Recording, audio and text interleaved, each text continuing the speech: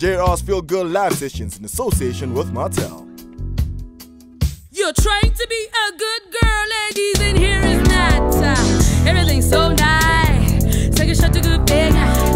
Everything is okay. Take a shot deep big.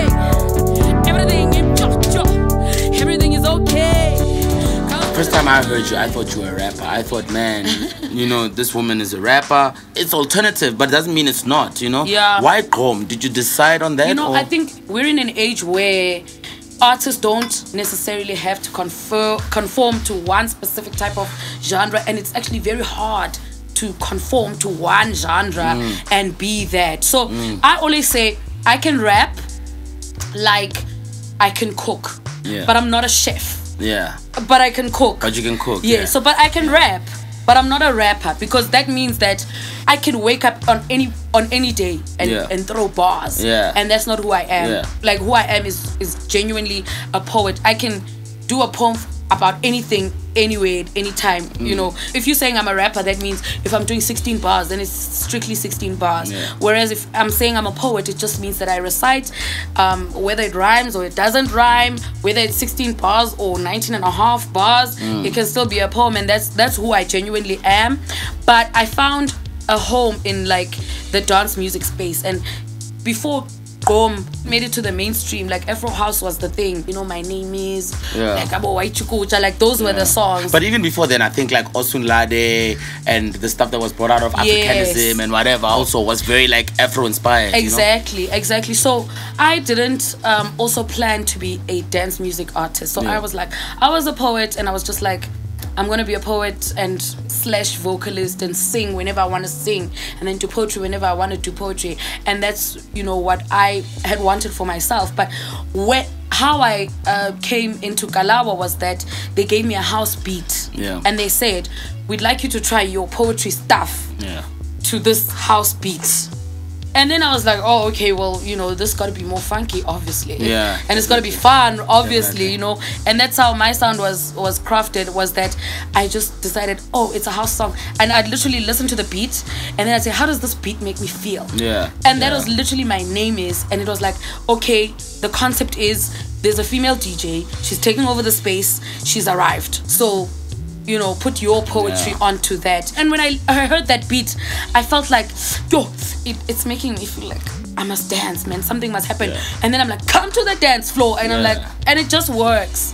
And so I just carried on with it and I built on that. So when Gqom started coming into the mainstream, then that it made sense to me because it's like Gqom makes me feel some type of way. Yeah, Like I love, I love, love, love, love. You love dancing well. And I love dancing, yeah. So it just makes sense. I was just like, yeah. So now I'm doing this, and and it works. Tell me something, just in a short sentence. Finish this for me. Without curiosity, I would lead a very boring and broke life. you feel you're very curious. Yeah. I'm very curious. I mean, if I, I was a poet who was doing like socially conscious snap your fingers poems, if someone gave me a house beat and I had said to them, Ish, no, it's not my style, then where would I be? I'd be broke. I'd be hungry. Looking ngithi eh andizomitha nomitha kanti ngikhulunyiswa indlala. So, it, you know, you must explore. I'm very curious. Travel the world, guys. Travel as much as you can. Yeah. Travel South Africa first if that's Yeah. all you can do. Yeah. Go to the next province, to Mpumalanga, to KZN. To it really opens up your mind, and after that, you can never ever be closed off again because you know that there's a lot out there, out there for everyone.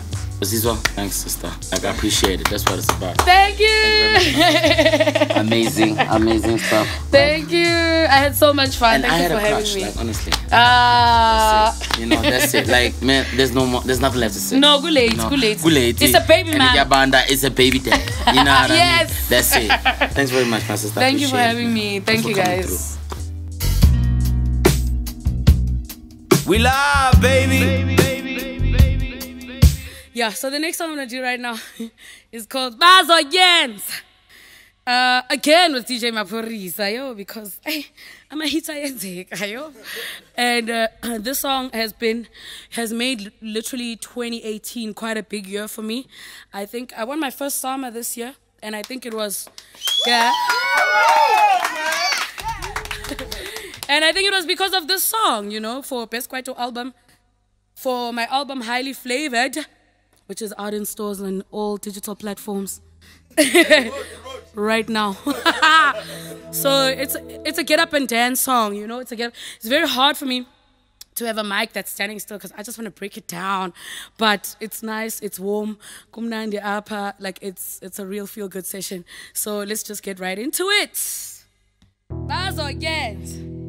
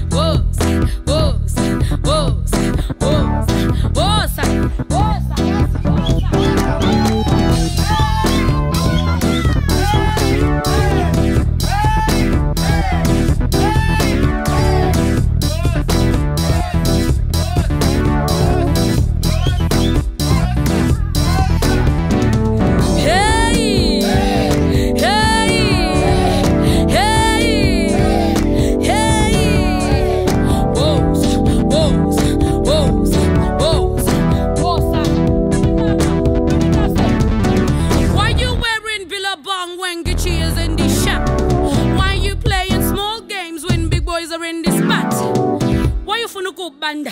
Everybody in here is hot. You're trying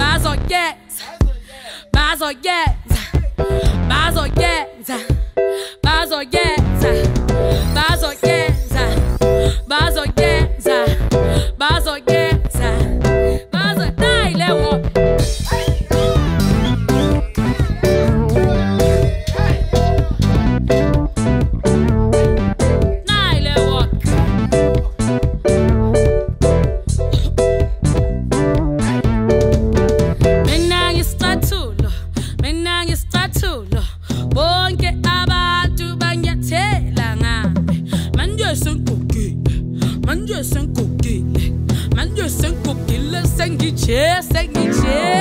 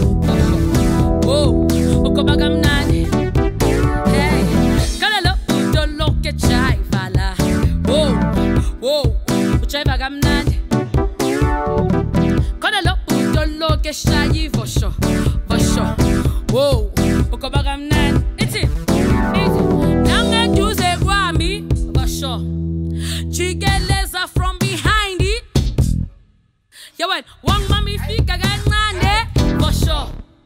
Ovo kilo malambane for sure, for sure. Can't. Chigeleza from behind for sure. One mommy fika ganane what's that?